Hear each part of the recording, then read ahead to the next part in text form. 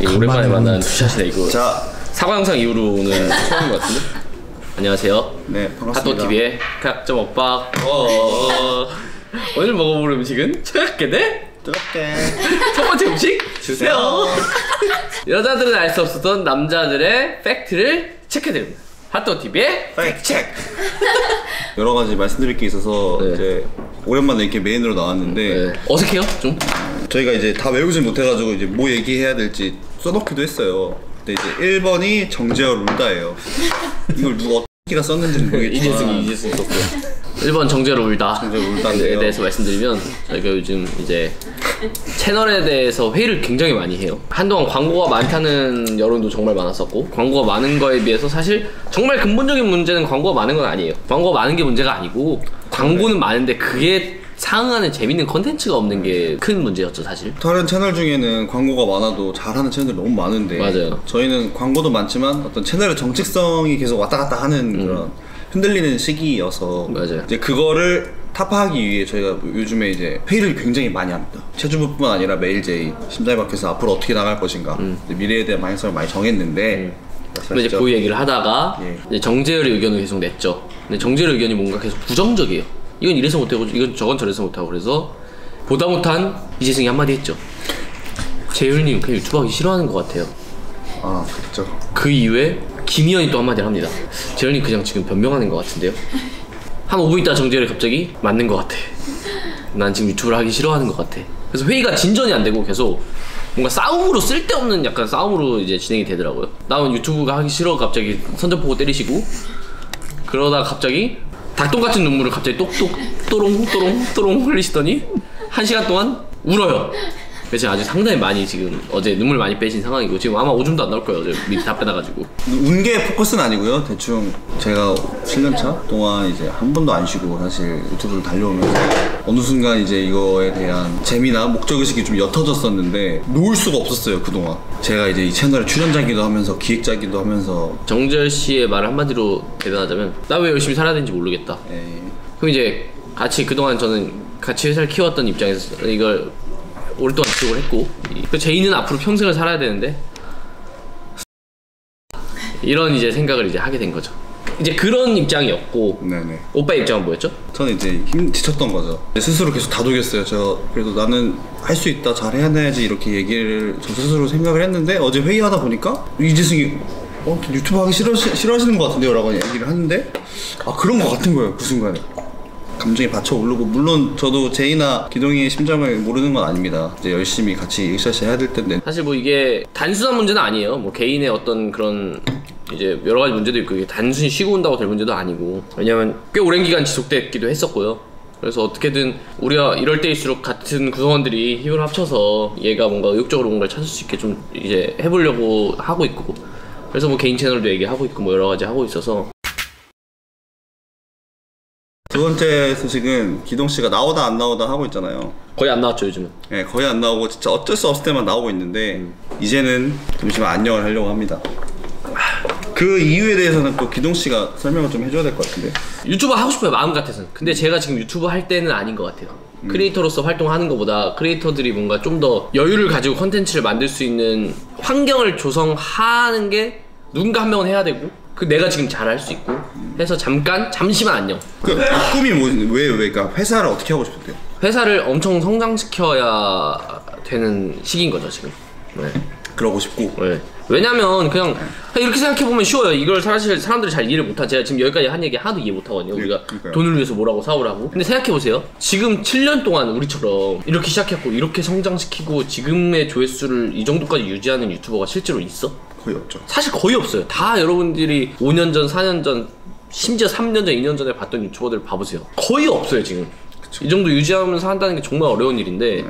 그래서 저는 이것도 오래가지 못한다고 생각해요. 뭐, 체주부도 진짜 억지로 비틀기 비틀기 하면서 몇 명에 왔죠. 뭐 확장빵으로 시작해서. 네. 그쵸. 뭐, 시트콤도 했다가. 네. 채널을 딱 보시면 알 거예요. 그냥. 잡탕, 사실. 네. 진짜 별짓 다 하는 거거든. 근데 우린 그래도 정말 잘하고 있긴 해. 왜냐면 여태까지 지금 살아있는 것만 해도 그래도 평균 조회수가 30만 잘 나오면 40만, 50만 이렇게까지 나오는 것만 해도 잘 살아있고 한데 여러분들도 시청자로서 아시겠지만 5년 전, 6년 전, 7년 전에 봤던 유튜브 안 보잖아요. 그리고 그 유튜버분들 지금 뭐 하는지도 모르잖아요. 그치. 그러니까 저희는 여러분들과 꽤 오래 만나고 싶고 앞으로 계속 시청자들 만나려면 지금 이 환경으로는 절대 만날 수 없어요. 왜냐면 그냥 쉽게 얘기하면 유튜브를 하면 할수록 시청자의 눈은 더 높아져요. 기대감은 점점 점 더 높아져요. 그럼 근데 그 기대감을 충족해 주려면 그만큼의 더 큰 스케일의 제작비가 들어가야 돼요. 저희가 해외여행 갔을 때 한 번 갔을 때 500만 원인가 600만 원 썼거든요.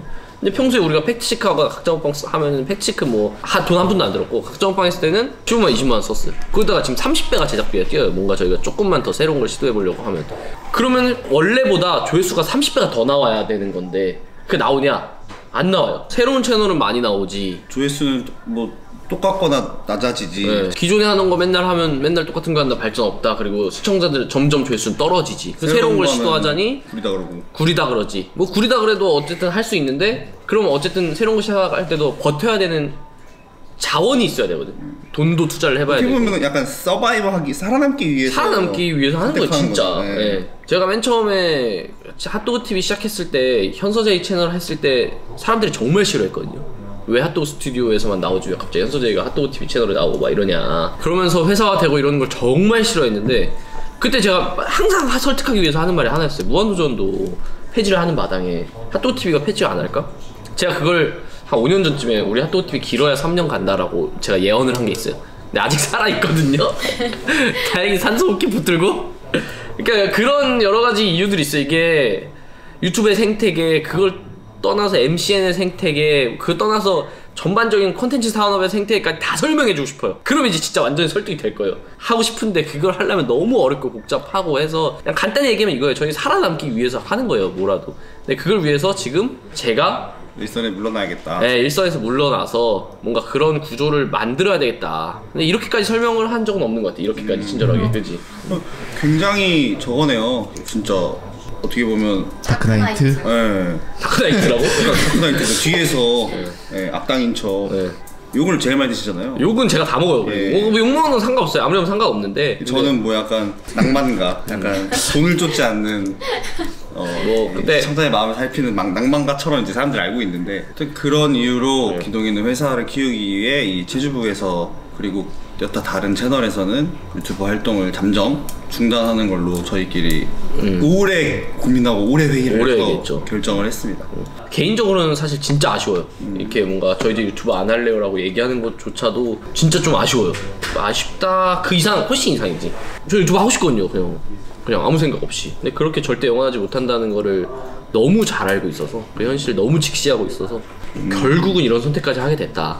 이렇게 이해해 주시면 좋을 것 같아요. 그래서 언젠가 제가 빠르게 이제 구축해놓고 시스템 만들어 놓으면 네. 2, 3년 만에 돌아올 수도 있는 2, 3년 만에 돌아오는 게 정말로. 목표예요. 그래서 이재승이랑 같이 세계 여행 가는 게 목표고. 하여튼 그러고 이제 그만 말씀하세요 이제 네. 고인이시니까 네.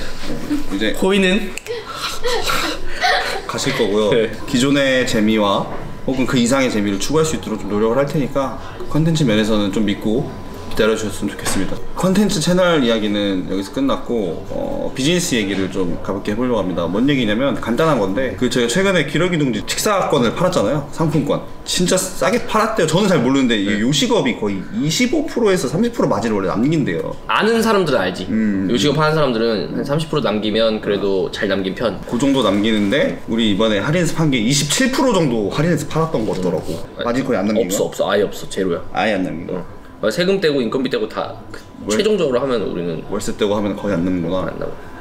안 남기고 이 목표는 뭐냐면 이제 좀 알리자. 근데 이제 사실 알리는 건 이미 많이 알렸어. 우리 채널에서 그냥 알리면 돼. 사실 커머스 할 필요는 없어. 그냥.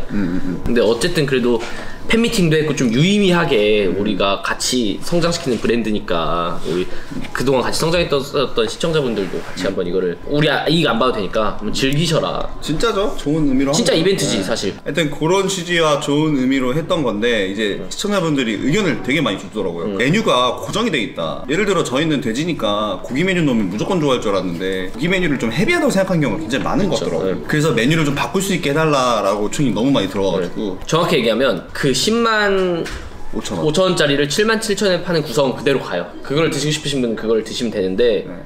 이제 10만 원짜리 그냥 상품권도 팔자. 아. 그러니까 10만 원에서 뭐 와인 먹고 싶으면 와인 먹고 아. 메뉴 3개 시키고 싶으면 3개 시키고 그냥 알아서 자기가 하면 되겠다 해서 그런 옵션을 하나 더 추가한 거예요 지금 아. 급하게 그거는 그거대로 구성대로 팔고 추가로 상품권 10만 원짜리 상품권을 7만 4천 원에 다시 따로 판매를 개시를 했다. 음. 그러니까 이것도 할인율로 따지면 한 25%? 뭐 그 정도 될 거예요 대충 그렇게 따지면 어, 비슷해요 기존 걸 사신 분들 중에 혹시 이게 더 낫다 하신 분들은 빨리 환불하시고 이걸로 사셔도 충분하니까 그렇게 하시고 여튼 다시 하기 힘든 정도의 수준의 이벤트거든요 10만 원 상품권이잖아.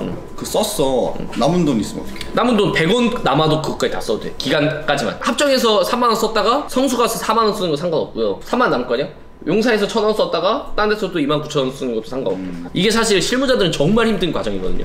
저 하지 말자 그랬는데 진짜 귀찮아요 이게. 잔액 관리를 다 해야 되고 저 일일이 다 수, 수작으로 해야 되거든요. 그래도 이번에는 이왕 할 거 제대로 사람들한테 한번 해주자라고 해갖고 급하게 옵션을 하나 더 추가했습니다. 진짜 네. 기러기둥지라는 브랜드 자체가 그동안 한 번도 이러는 걸 해본 적이 없어 애초에. 아 그래? 해본 적도 없고 해서 아마 다시 있기 힘들 그런 정도의 혜택이지 않을까 싶어서 꼭 이번에 해보시고 아 근데 이번에 진짜 맛있어지긴 했어요. 나는 퀄리티 진짜 높은 거. 같아. 맞아요 미슐랭 two star 셰프가 개발 만들어낸 음식을 거의 만 원대 하나에 만 원대거든 그래서 꼭 한번 기회 되시면은 그냥 분위기 좋으니까 데이트할 겸 해서 여자친구랑 이렇게 먹어보고 아, 이런 게 진짜 맛있는 음식이야 이렇게 딱 멋있게 또 이렇게 소개도 시켜주고 이러면 진짜 좋을 것 같긴 해. 맞아요. 그 외에도 주당의 비결이나 네. 뭐 이런 것들 사람들이 그동안 너무 좋아가지고 또 언제 해요 또 언제 해요라는 문의가 정말 많은데 그런 것 때문에 상시 판매를 열어놨어요 물론 프로모션 가격까지는 아니지만 여러분들이 정말 좋아하는 제품들을 이제 상시로 계속 올릴 거다 그래서 요거를 자주 방문해 주시면 뭐 세인트존스 우리가 할 때만